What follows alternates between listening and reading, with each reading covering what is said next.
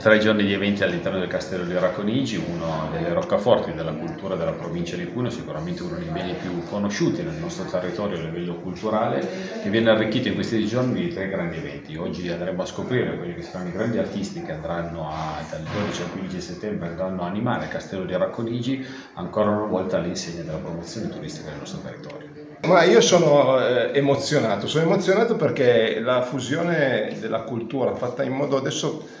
lo dico, poi, poi, mi tireranno le orecchie, un po' glamour, eh, con personaggi che in qualche modo sconfinano in quello che è lo spettacolo, anche un po' il gossip, penso sia una delle chiavi di lettura, uno per avvicinare al mondo della cultura eh, il grande pubblico e due per utilizzare, e qui voglio veramente ringraziare tantissimo quello che è la, la direzione regionale, il Polo Museo del, del, del Piemonte e, e, la direttrice Alessandra Giovannini che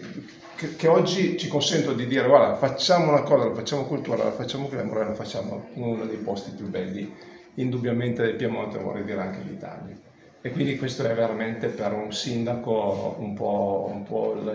raggiungere il culmine di quelli che sono così, gli obiettivi strategici che noi da tempo avevamo su questa che è la fruizione del bene più bello e più prezioso che noi abbiamo. Sono molto molto contenta di essere qui oggi a parlarvi insieme al sindaco del comune di Racconigi Valerio Lerda e Maurizio Liberti e agli altri insomma, che interverranno insieme a me alla conferenza stampa di questa bella iniziativa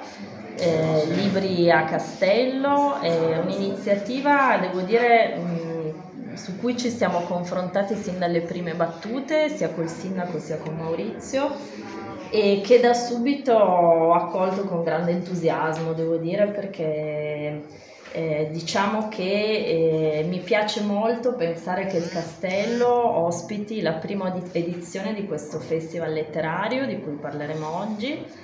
Eh, diceva prima, prima, il sindaco, siamo molto contenti della collaborazione col castello, devo dire che io in prima persona sto cercando di impegnarmi il più possibile eh, a portare eh, non solo a far venire turisti al castello, quindi a rafforzare l'idea di e, e anche il ruolo del Castello di Racconigi come meta turistica, ma ci tengo molto a dirlo anche a voi, eh, a far tornare le persone che vivono sui territori al castello e quindi a far percepire il castello e a farlo vivere anche come luogo, come parte della vita quotidiana delle persone. Eh, il progetto di Libria Castello avrà questi ospiti a Racconigi nel cortile del castello, come dice la parola, ore 21 lunedì 11, martedì 12 e mercoledì 13 settembre, ore 21, ingresso gratuito. L'11 settembre Marco Bianchi eh, parlerà del suo nuovo libro con Attilio Cileghini, giornalista della Press. Martedì 12 Sabina Guzzanti dialoga con Simone De Ciero, giornalista del Corriere della Sera, martedì l'ho detto, sì. Mercoledì Chiara Francini, anche lei con eh, Simone De Ciero, Corriere della Sera. Sono stato chiamato, messo all'ordine perché da vecchio militare ho detto subito signor sì, come eh, dicevo prima, eh, riappropriarci un po' anche del castello, perché effettivamente è una location eccezionale, è una location che anche i cittadini dovrebbero essere molto molto più presenti. Quando me l'ha chiesto sono stato contentissimo perché io sono un fautore del, dalla parte storica di Racconigi e, e su, supporterò eh, anche economicamente perché un evento così non è che... però insieme ad altri, ad altri sponsor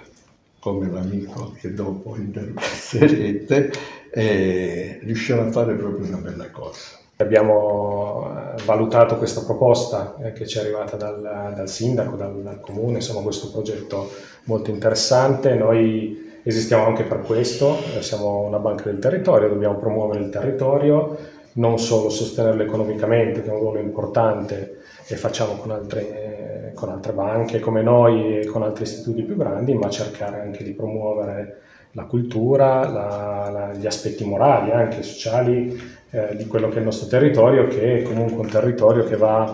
eh, parte dalla provincia di Cuneo, da Casco e poi è arrivato in provincia di Torino, siamo a Torino eh, già da diversi anni e anche su Genova, quindi insomma un territorio molto ampio, evidentemente siamo una banca non grandissima, quindi non abbiamo disponibilità illimitate, cerchiamo di contribuire nel, insomma, in quello che possiamo a, questi, a queste iniziative.